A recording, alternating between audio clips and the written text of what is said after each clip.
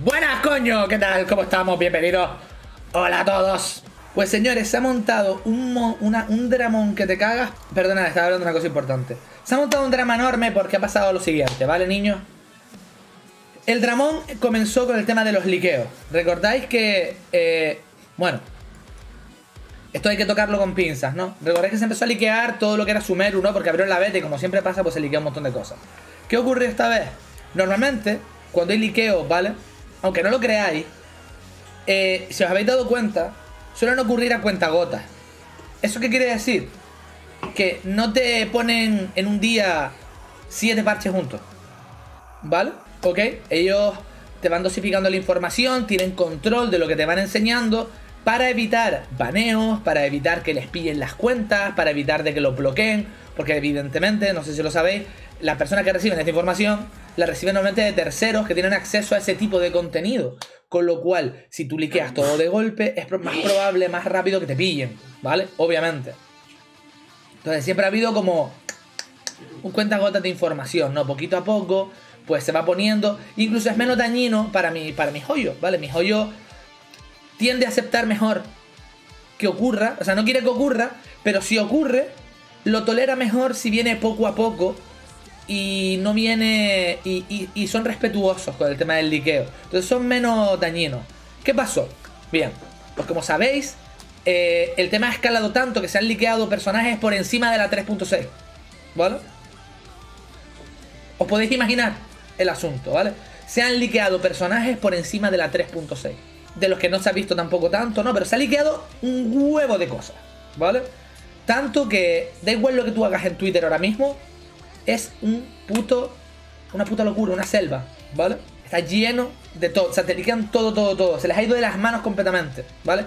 Por lo visto dicen, al principio estaban diciendo que era mi joyo, que era un trabajador que lo liqueó, pero al final resultó que un hacker hackeó a ese trabajador y le robó todos los datos, ¿vale? A un productor, diseñador, lo que fuera, ¿vale? ¿Ok? Eso fue lo que ocurrió, ¿vale? Y por eso sacaron todo. ¿Qué ocurrió? Pues que lo pusieron todo de golpe en Twitter y lo comentaron todo de golpe en Twitch. Como sabéis, Twitter y Twitch no hacen nada respecto a eso. Lo único que puede hacer mi joyo es quitarte el content creator. Pero si no eres content creator, ellos no pueden hacer nada, desgraciadamente, para ellos en estas plataformas. Exactamente, si tenemos mala seguridad, eso sin duda, ¿vale? No, no, no. Humiore, hay más. Hay más de la 3.6 para antes. Te lo digo yo. Eh, pues, ¿qué pasa? Que aquí llega el tema las personas, ha, habido muchas personas que han recibido strikes, ¿vale? Porque en vez de ceñirse a utilizar este contenido donde las plataformas delante son, donde son impunes, ¿vale? Que no es que yo lo, le dé soporte, pero señores, si vas a liquear, al menos hazlo en una plataforma donde sepas donde, donde no te pueden castigar. ¿Qué pasa? Que por ganarse 10 euros, literalmente, empezaron a hacerlo en YouTube también. Y a una velocidad pasmosa literalmente. Todo el mundo poniendo vídeos sin parar en YouTube, todo el mundo liqueando en YouTube. Bien, pues ha habido canales borrados completamente, ha habido canales que están a punto de ser borrados, ha habido canales con Strike y con Shadowban, y han empezado, que son, es lo normal, porque evidentemente es normal que te reporten y te lo tiren, porque a mí me pasó lo mismo, señores. Pero el problema es que han aparecido personas diciendo que, pues, es su manera de vivir y que están jugando con su dinero y que vaya y que son unos hijos de puta, que no sé qué, no sé cuánto. Y claro, ojo, yo doy soporte completamente a esto, ¿eh? me parece una putada que tu forma de vida, de ganarte la vida, te la jodan, ¿vale? Siendo empático, ¿vale? Con los que han sido afectados, ¿vale? Eh, yo creo que es una putada que te hagan esto. Yo creo que las cosas se pueden arreglar mejor. En plan de, de manera civilizada, pidiéndote que borres el vídeo, ¿vale? Y ya, si tú no lo borras, pues te comes el strike. ¿Vale? Pero civilizadamente que ellos, con un poco de manga ancha, te hablen, se comuniquen contigo, digan, oye, mira, este vídeo incumple nuestras políticas. Debería borrarlo o te metemos un strike. Entonces la mayoría pues lo harían, probablemente, ¿vale? O borrarían la parte en la que molesta o lo que fuera, ¿vale? Pero es que eh, aquí viene el punto. Muchos creadores se agarran a decir, no, pero es que una cosa que dice que si algo es de dominio público en Twitter, la red y se vuelve viral, ¿vale? Tú puedes publicarlo. Es verdad. Pero es que eso no se aplica a la propiedad intelectual. Ese es el tema. La propiedad intelectual está por encima de eso. muy por encima de eso. ¿Vale? Una cosa es que tú publiques un meme y otra cosa muy distinta es que tú cojas la propiedad intelectual de alguien y la sigas filtrando, ¿vale? Y la sigue, le sigas dando exponencialmente filtrándola. Tú no puedes, ¿vale? No se puede hacer eso. Y desgraciadamente la propiedad intelectual te la pueden reportar siempre que ellos quieran los propietarios de esta propiedad intelectual. Os pongo un ejemplo, ¿vale? Para que lo entendáis, ¿vale? ¿Veis el fondo de pantalla que yo tengo? Que es un fondo de pantalla de Mosta. Mi joyo me lo podría reportar. Y podría tirarme el vídeo de YouTube si esto estuviera fuera. ¿Por qué? Porque es su propiedad intelectual, es suyo, ¿vale? Da igual que la screen la, hecho, la haya hecho yo, da igual que sea una screen quieta, es su propiedad intelectual, ¿vale? Todo lo que salga de Genshin Impact, tanto en YouTube, Twitter o lo que sea, les pertenece. Punto pelota, ¿vale? Aunque, aunque se haga viral, no importa. Y eso es una putada. Es un producto que es de ellos, les pertenece, están robándoles la información y otras personas la están usando para ganar dinero. Eso es lo que ellos quieren evitar. A ver, yo estoy a favor de que se respete la propiedad intelectual. Estoy en contra de que castiguen severamente a los youtubers. ¿Por qué? Porque los youtubers son solamente la última parte del escalafón. Son los últimos comunicadores, no son los hackers. Si tú jodes a los youtubers, los hackers y la gente que liquea va a seguir liqueando.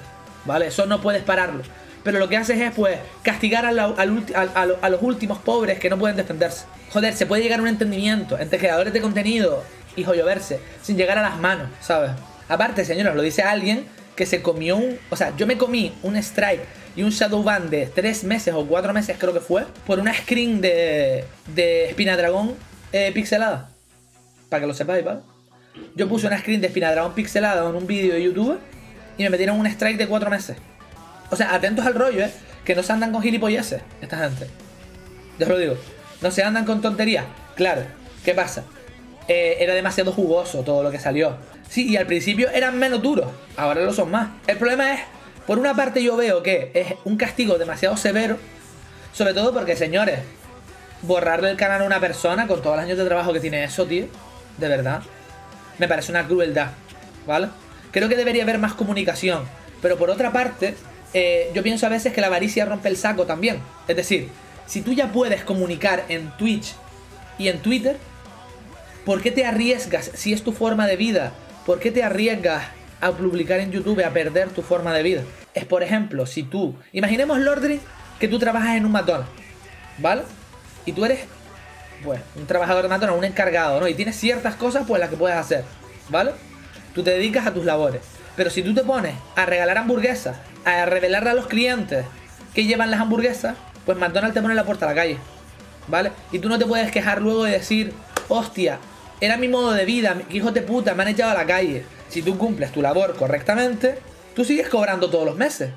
Si tú te tomas confianzas que no debes tener, pierdes tu trabajo.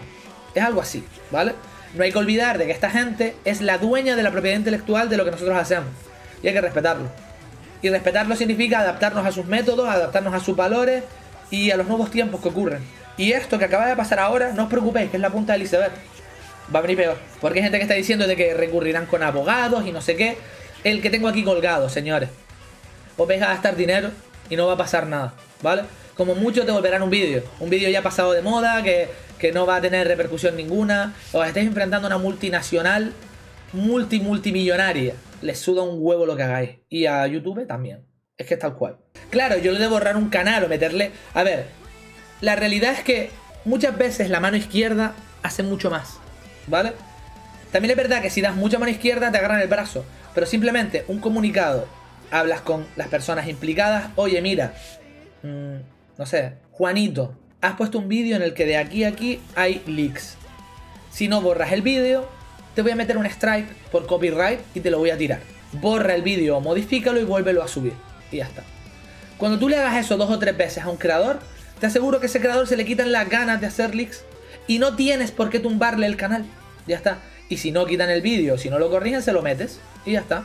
Y él ya no podrá decir ni eh, eh, joyo verse malo, joyo verse hijo de puta, porque me ha tirado el vídeo. No, se te avisa con tiempo.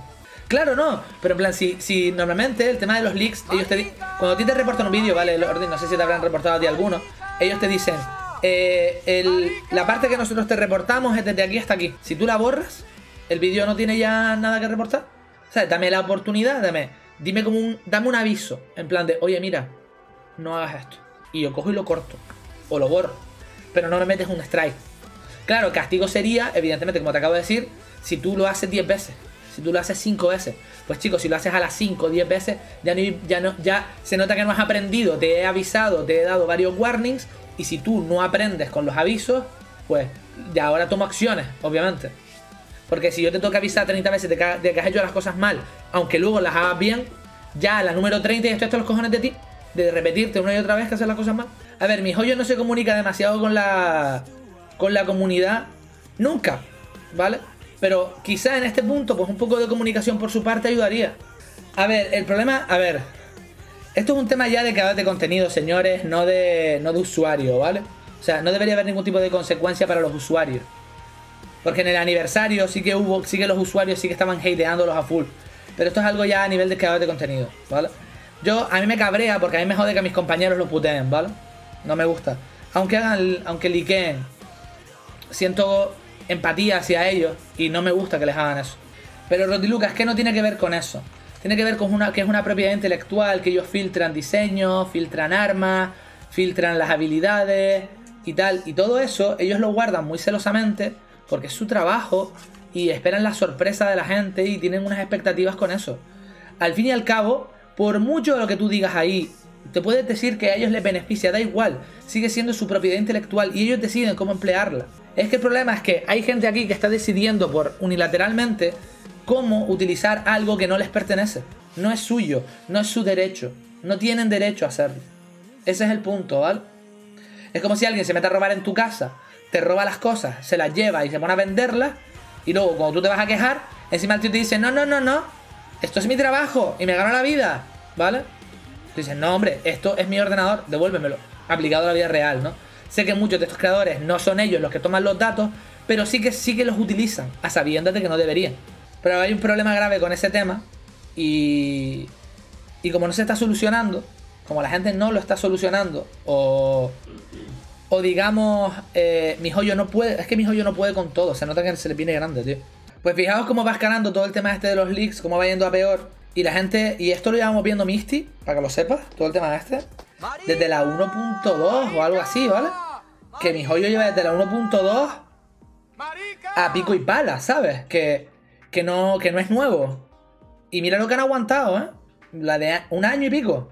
Ahí es donde quiero llegar. Yo lo he comentado. Digo, coño, pues si es tu forma de vida y con ello te ganas la vida y necesitas YouTube para vivir, pues no te arriesgues a perder tu canal. Es que Misty es tal cual, o sea, a mí, porque ellos lloran por el tema ese, ¿no? De que es nuestra forma de ganarnos la vida. Pues coño, tienes, asegura tu forma de ganarte la vida. Es como si, tío, es como si tú, te digo, como si tú tienes un puto restaurante, vives bien, trabajas bien y tal, quieres ganarte un dinero este y te pones a vender coca, ¿sabes? En el restaurante. Pues cuando te trinque la policía, adiós restaurante, adiós futuro, ghost cárcel, pierdes todo, ¿vale? Ya está, ¿sabes? Entonces, si a ti te va bien ya, ¿por qué llegar a ese riesgo? ¿Vale? Sabiendo el castigo que conlleva. Empezaron con algunos diseños, luego personajes, historia, tal. Y han depelado todo. ¿Sabéis, ¿Sabéis que para ellos, bueno, sabéis, no tenéis ni idea, pero sabéis que para ellos lo importante que era la Arconte Dendro? Que ellos no querían que nadie viera la Arconte Dendro, tío. La tenían súper en secreto, tío. Tanto que ni siquiera en sus archivos incluyeron el arma, para que nadie pudiera liquearlo. Pues imaginaos el punto, lo que les tiene que joder. Es que también les tiene que cabrear un huevo. Lo de la historia es una putada. Honestamente, a mí que me filtres la historia, ya me parece una putada que me lo haga, ¿sabes? Yo lo siento mucho, pero estoy súper en contra de esto, ¿eh? Estoy en contra de que lo paneen, pero también estoy en contra de que, de que se pulule todo esto por ahí, ¿sabes? A ver, esta vez parece ser que fueron hackeados, eh, Akira. Porque además, muchos de los creadores se escudan en que no se merecen el reporte porque ellos dicen que es mi joyo quien liquea. Y que mi joyo liquea y luego les castiga a ellos. Y eso es, como le puse yo a una persona, by tus cojones. ¿Vale? Porque tú lo dices. ¿Vale? Como tú lo dices, ¿vale? Porque a ti te da la puta gana, pues ya está. Y es una. Es ad populum eso. ¿Vale? ¿Tú qué coño sabes si son ellos o no? Y si aunque lo fueran, sigue siendo su propiedad intelectual, así que te pueden seguir baneando. Ya está. No hay más. Claro, es que es lo, es lo de siempre. Es lo de siempre. Yo estoy en contra igualmente de Leana. Yo estoy en contra de que los tips les tiren el canal, ¿eh? Yo lo he dicho antes. Estoy en contra de que les tiren el canal, completamente, porque sé lo que cuesta tener ese trabajo y creo que podría haber un poquito de más de manga ancha a través de mi joyo y ser menos drástico. Pero coño, si tú sabes que no se puede hacer, ¿por qué lo haces? ¿Sabes? Es que. Es una. Es, las dos partes. Unos son unos brutos a la hora de reventarles el canal. Y los otros saben que eso no se puede hacer y van y lo hacen. No pulsar el botón, ¡boom! Y lo pulsan, ¿sabes? Pues. No, es que yo. A ver, es que la realidad es que eh, ellos se agarran a ciertas cosas, pero omiten cosas que no son. Y a mí lo que no me gustó es que tiraron mierda otra vez a los content creators. Otra vez volvieron a tirar mierda a los content creators. Y encima desinformar sobre lo que es el content creator, ¿vale? Decir, por ejemplo, que los content creators somos las putitas de mi joyo, básicamente, y que no podemos decir nada en su contra porque nos quitan el content creator, es mentira, ¿vale? Yo, todos los días, cada dos por tres, hablo de cosas que no me parecen bien de las políticas de joyo verse y no pasa nada, ¿vale? Lo que tú no puedes hacer es difamarlo. Tú no puedes mandar eh, publicidad engañosa y información engañosa y o leaks. Es lo que tú no puedes hacer. Pero tú puedes decir que a mí no me parece bien esto. Y no tiene ningún problema, es tu puta opinión. Tú no tienes por qué ser una marioneta. Y lo que pasa es que ellos se escuden en que como que ellos son los, los verdaderos creadores de contenido que dicen la verdad. No me toques los cojones, ¿sabes? Es que lo veo un pulsito, sí, lo veo un pulsito de infantil. Y al final, quien pierde siempre. Y esto sí, o sea, es que me hace gracia. ¿Vosotros recordáis alguna situación en la cual algún creador de contenido de algún juego, alguna compañía lo baneara, lo bloqueara, lo jodiera y este creador eh, pudiera ganarle el pulso a la compañía? ¿A que no? Porque no existe. Porque no va a pasar. Van a lucharlo, es verdad, pero lo van a perder. Porque mi joyo solo tiene que decir, pues fulanito, menganito y tal, tenéis prohibido emitir en todas las plataformas y en todas las redes contenido nuestro, te, vetamos el uso de nuestro copy, de cualquier cosa de nuestro copyright. Y ahí sí que pueden banearte en Twitch, ¿vale? Si hacen eso. Y ya está. Solo tienen que hacer eso. Tienen que llegar al siguiente nivel, que es decir, que no puedes emitir nada de ellos porque estás tú permanentemente baneado de usar sus servicios para siempre. Ese es el siguiente level. Tarde o temprano habrá gente que se lo coma. No os preocupéis, porque seguirán para adelante. Porque ya en el Clash of Clan pasó así de veces, para que lo sepáis, ¿eh? Pasó muchísimo el Clash of Clan. Un montón de gente se quedó sin poder, perdió su trabajo, básicamente. Claro, son sus derechos. Ellos deciden cómo utilizarlo. A mí me da pena todo esto porque mucha gente que se va a ver afectada es gente que yo le tengo a mucho aprecio. Y... Pero hay que saber qué batallas puedes luchar. Cada uno lucha las batallas y... Digamos, yo solo lucharía batallas que pudiera ganar y no no me metería en fregados que no puedo. Yo no lo haría. Yo no me metería con una compañía multimillonaria. Lo que hay que hacer es alinearse. Intentar remar todos para el mismo lado. Familia feliz, familia happy. Porque no sé si lo sabéis, pero esto es algo que es un secreto a voces, ¿no? Eh, los gente que no tiene el content creator, son creadores de contenido grandes, odian y critican y difaman a los que tenemos el content creator, ¿vale? Nos llevamos una... O sea, yo estoy harto de llevarme comentarios negativos, ¿vale?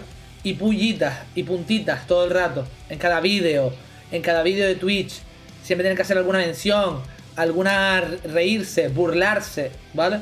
Yo, a pesar de que incluso hagan eso y digan esas cosas, yo no les deseo ningún mal. Yo no les deseo que les peguen un ban ni nada por el estilo. Claro, claro, pero yo no entro a ese trapo, no entro a mira lo que dijo tal. Pero no entiendo ese odio, no lo comprendo. Exactamente. Es que os voy a poner otro ejemplo, así que seguro que lo vais a entender. Imaginemos que yo soy compositor y yo compongo, yo qué sé, una canción, ¿vale? Un ritmo, lo que sea, ¿vale? Lo registro como mi propiedad intelectual pero dejo que la gente lo use, como hace mi joyo, ¿vale? Tiene registrada la propiedad intelectual, pero nos deja uso de su producto, ¿vale? Y yo dejo que Eleana, Misty y Annie utilicen mi canción, pero Eleana la usa para promocionar mm, apología nazi, ¿sabes? Pues yo puedo, porque tengo el copyright, tengo los derechos de autor, puedo evitar que lo use. Aunque yo haya permitido que lo use todo el mundo y dado libre acceso, puedo banearlos uno a uno si quiero, ¿vale? Porque es mi producto. ¿Vale? Y puedo elegir quién se lo lleva. Eso ya lo hemos visto antes, tú no puedes hacer lo que quieras. Claro, exactamente, y con la música pasa. De hecho, os voy a poner un ejemplo. Eh, en YouTube hay un montón de, gente que hace música y dice, puedes utilizar mi música en todos tus vídeos de YouTube, menos si los monetizas. Si los monetizas, no puedes. Porque si yo no gano dinero con mi música, tú tampoco. Ok, me parece súper justo, ¿sabes?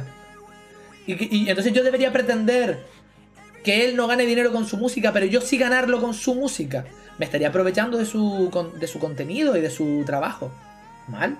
Entonces hay que encontrar un equilibrio en el que todo el mundo esté cómodo. pero sigo pensando que tumbar canales de golpe me parece abusivo. Creo que poco, como dice el Ordering, eh, dar un par de avisos y luego te los cargas, pero les avisas. Les metes un par de warnings, les dices, oye, te estás colando youtuber X, para. Oye, que te sigues colando youtuber X, para. No has parado youtuber X, prepárate para que te tiremos todo el canal. Y ya está.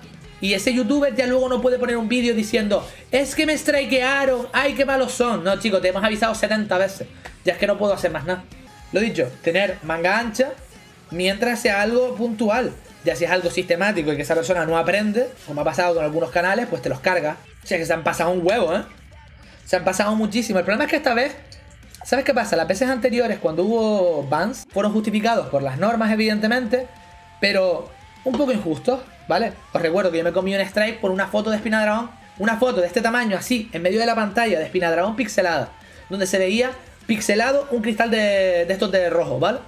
Me comí un strike y me tiraron un vídeo, Misty, y me metieron cuatro meses, cuatro meses de, de Shadowban, que me veía la gente al, día, cuatro, cuatro visualizaciones al día, loca, por una foto pixelada de Espina Dragón que me comí yo. Que es una putada que te lo hagan, hombre, si es una putada. Pero me la comí con papa. Y lo saben los de aquí, me, me cogí un empute que no veas. Porque a mí me acusaron de que yo era el que había hackeado los servidores. Y yo, sí, los cojones. ¿De qué, cara tengo yo de hacker? Ojalá lo fuera. Si fuera yo hacker estaría aquí, ¿sabes? No me jodas. Ellos también defienden lo suyo. Y se quejan de que les jode lo que, lo, que les han hecho. Lo entiendo perfectamente, tío. Yo los comprendo y, los, em, y empatizo muchísimo con el tema, ¿vale? Empatizo mucho con el tema con ellos. Y tienen toda mi solidaridad. Ya digo, si fuera por mí, yo nunca les hubiera hecho tal cosa. ¿Vale? Para que, para que lo sepáis. Yo nunca les hubiera metido un strike. Pero no, yo, no está en mi poder. Evidentemente no soy yo quien hace eso. Pero entiendo por dónde va el tema, ¿no? De que tú te refieres a que, coño, haciendo las cosas eh, bien, también te puede ir bien. No hace falta tener que ser, o sea, no hace falta tener que liquear 800.000 cosas para que te vea la gente.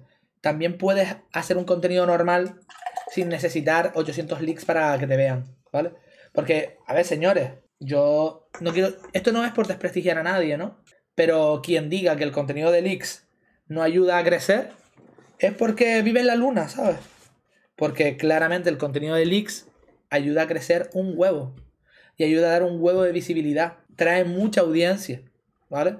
Y es y será el fast food de Genshin Impact. Y ya está. El juego no es solo liqueo tú puedes hacer buen contenido sin liquear. Puedes tener un buen contenido, un contenido bonito, guay y tal, sin leaks.